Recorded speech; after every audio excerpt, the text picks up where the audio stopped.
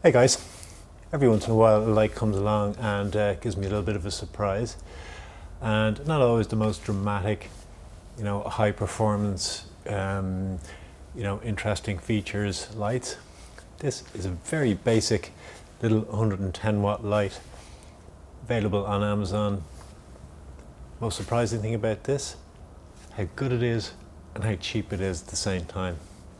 Let's have a closer look. So you cannot get much more basic than this really.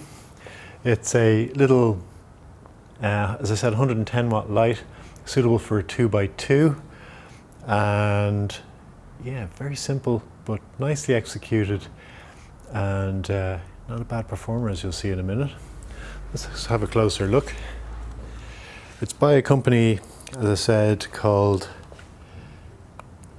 IMV Sincere and they are based on um, Amazon US. And the light is very simple in construction. Quantum board style light.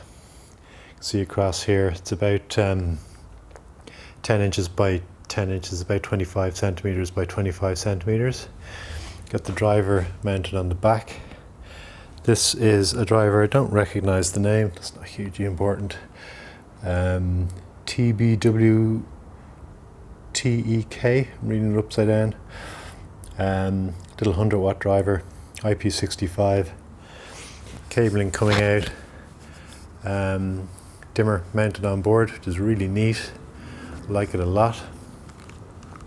See the um, driver is separated then from the heatsink. So we've got, uh, let's keep that driver cool. And they're plastic, so you won't get much heat conductivity. It's again nice. Simple hanging mechanism. All comes uh, with your hanging ratchets and everything else. Again, nice and simple. On the board side, we've got uh, multiple cool white LEDs. Uh, when I say cool white, I think they're 3.5K color temperature. Got 660 nanometer reds there as well and a couple of little um, far red LEDs to 730 nanometers. Board is not coated, but um, again for this price, not really that critical. As I said, it's a nice little fit and finish, and um, yeah, does everything you would expect it to do. So, quite impressed with it. Interesting thing is, how is it going to do in the test? So let's find out.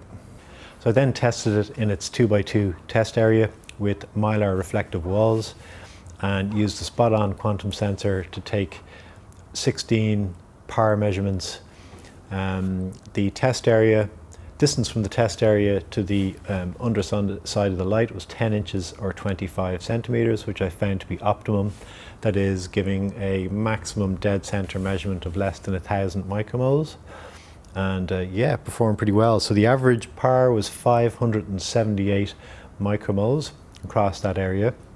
And for the 110 watts consumed, 110.6 watts consumed, and this delivers a system efficiency that is the total power reaching the plant canopy or test area divided by the power consumed was 1.88 micromoles per watt or usable ppf per watt. It's a really, really good result and beats some um, bigger brand LED grow lights of the same sort of power range that I've tested recently that are much, much more expensive. It is not the highest um, quality in terms of specification. However, it's a very good quality finish. It has all the features and functions that you would like or need um, for a basic um, starter or budget grow light setup or even as a spare light for uh, you know a seedling tent um, or a clone or mother plant or something like that.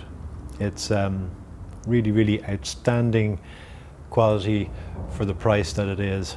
So congratulations to Sincere, um, a company I know I've done work with in the past and um, have a lot of time for them and uh, yeah it is astounding that um, you can get a light of this quality for this price. So congratulations to them. Any questions or comments, please leave them below and I'll get back to you as soon as I can. Take care.